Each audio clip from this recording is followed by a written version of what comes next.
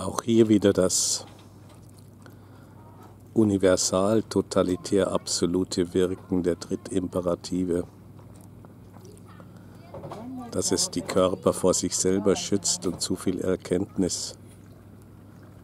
indem es das Unbewusste auch eine Tröstungsmaschine und Integrationsmaschine, die nur dann Aufschrecken macht, wenn sie etwas im Realen nicht wirklich reintegrieren kann. Wenn es also das Unbewusste mit den Akzidenzien der Unsterblichkeit, mit der Gnade, die auch dem Tier beschert ist, des Nichtwissens, der Sterblichkeit und somit auch des Aktualexistierens ausstattet. Aber wie passt dieses, dieser Glaube an die Unsterblichkeit, des mir kann nichts passieren, zusammen mit jener anderen kurzen, aufklaffenden Schreckszenario des Open Ends, des Open Exit, des Ausgangs, der auslaufen wird wie ein angestochenes Ei und in dem hier vorweggenommen werden die Ein- und Ausstülpungsakte eben zum Behufe der Drittveränderungsimperative in Vorwegnahme dieses Lebenszyklus kurzzeitig aufscheinen, aufklaffen gemacht werden. Wie passt dies zusammen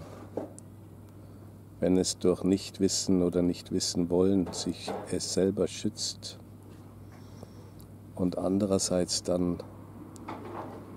aus der Bahn wirft, aus der Bahn zu werfen scheint. Wir haben es schon gesagt, es dient nicht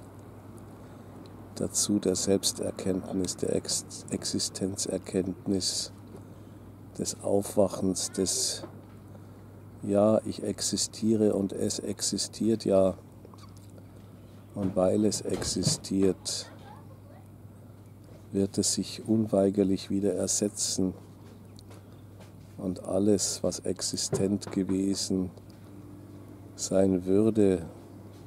als bedingtes Sein wieder austauschen durch anderes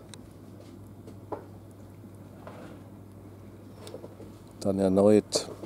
wieder auszutauschendes.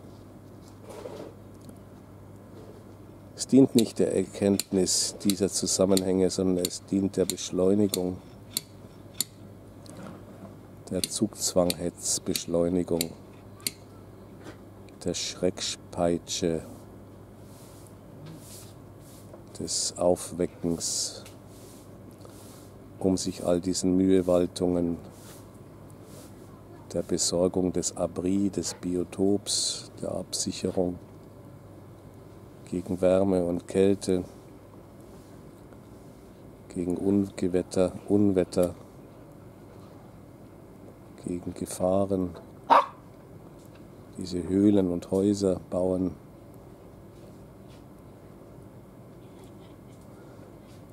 Dieses Besorgen von Futter jeden Tag zur Erhaltung der Integration qua Energiezuführung im Vertilgen der anderen, bevor man selbst an die Reihe kommt. Und dieser noch eminenteren Mühen, die man sich aufbürdet, als ob das Joch, das man zu tragen hätte, und das damit beginnt, dass man bereits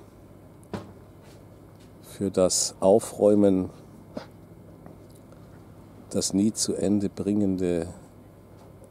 den nie zu Ende bringenden Kampf gegen die Entropie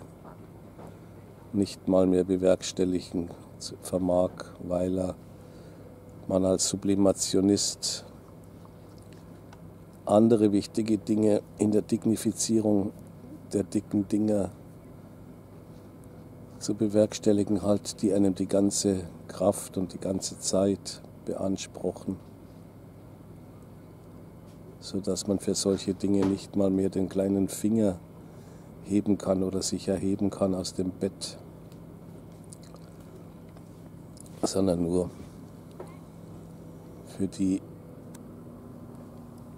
sind Kampf gegen andere Phantasmen. Also der Zusammenhang zwischen einerseits der ersten Stufe des unbewussten ewig Lebens und ewig sich erneuerns und nie sterben müssens und dann die Wiederholungserfahrung nach dem Auswurf des Ungeschehenmachens, des Angeschissenseins, des Ausgeschissenseins, des Verwurfes dieses Wurms, dieses Verdauungsschlauches, der nur dazu da ist, wie die Seescheiden oder die Anemonen zu fressen und zu wachsen und wieder auszuscheiden.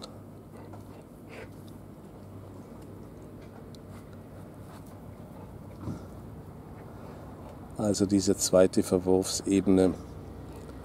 die wir gerade schon gesagt haben, nicht der Selbsterkenntnis, der Erkenntnis, der Identifizierung, der Conditio, der Existenz dienen, sondern dem Existieren, der Beschleunigung des sich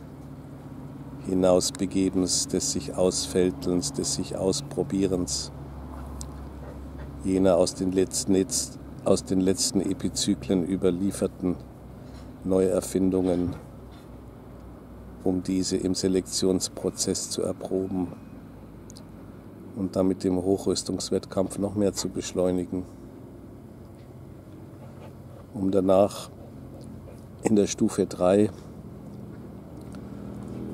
verknüpft durch das Rhizom, verknüpft durch das Myzel als der als das Möbiusband, als der Torusring, der die beiden aufeinander gehetzten Seiten miteinander verknüpft und gegeneinander hetzt, parallektisch über diesen Rand hinweg, durch die Leerstelle, durch die Null hindurch,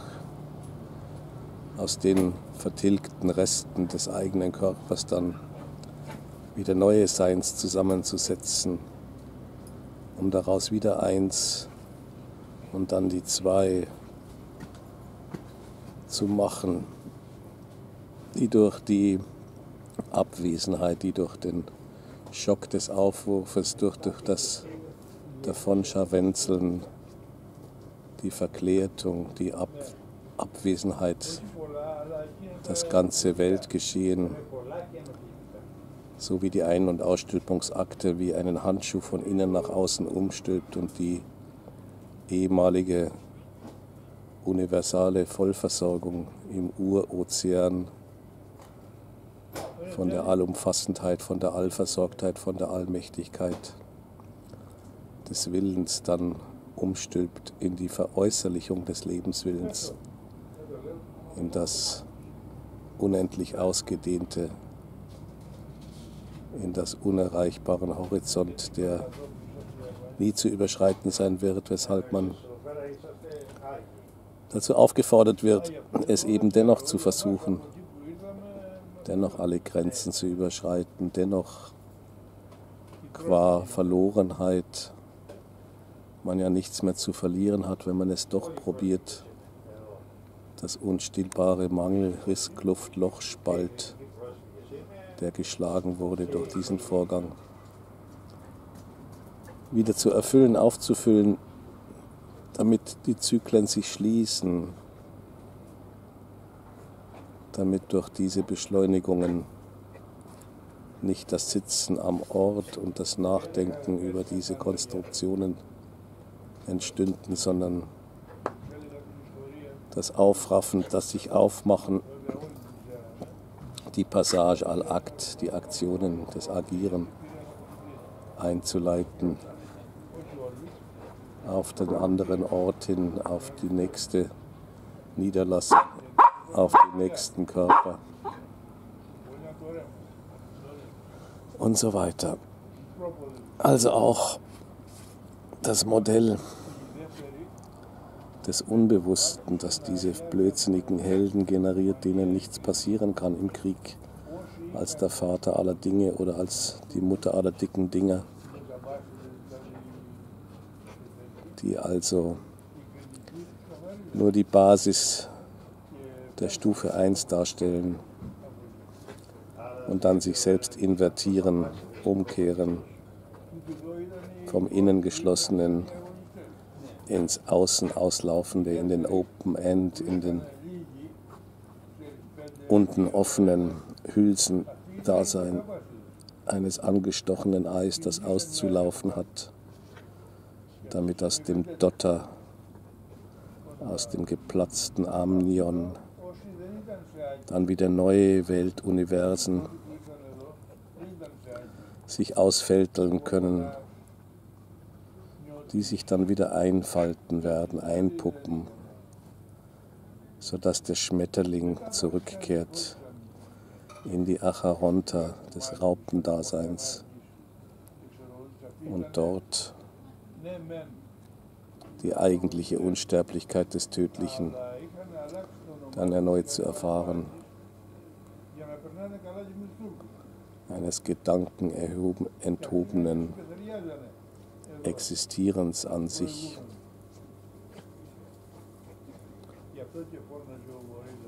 Unter dem Aspekt des nie aufhören Könnens, dieser Wiederholung von Welle, von Wellenberg und Wellental. In diesem einzigen Freiheitgrad, von dem Schrödinger spricht, als eine